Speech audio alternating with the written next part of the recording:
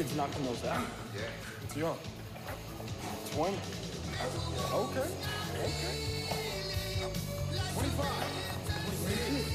27. 28. 30. 31. Hey, come in. Hey, come in. 32.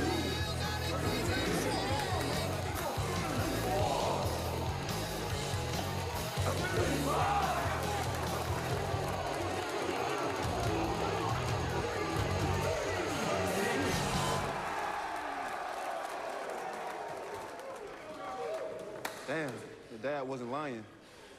Better eat your Wheaties, Asia.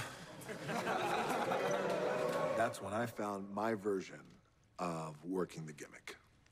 Be me. But with the dial turned up to 11. So that's who I was every time I flashed the people's eyebrow. That's who I was when I threw Ludacris off a bridge in Jumanji 5. And that's who I was when I played Gene Simmons in that Kiss biopic. But Dwayne, I have to ask, wouldn't it have been easier to just tell your teammates that your dad made that whole Wheaties thing up? Yeah, of course it would have been easier, but I couldn't do that, Randall. That's my dad. Truth is, in his way, he pushed me to do things I never would have done.